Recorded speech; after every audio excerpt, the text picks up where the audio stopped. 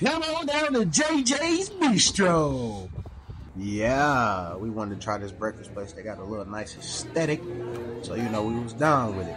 Let's see what the look is about. You know, so we head straight to the menu. We don't play no games at all. You know what I mean? She said she wants some mimosa. I said, get it, la losa. Yeah, drop it on the table. I said, boom. Uh huh.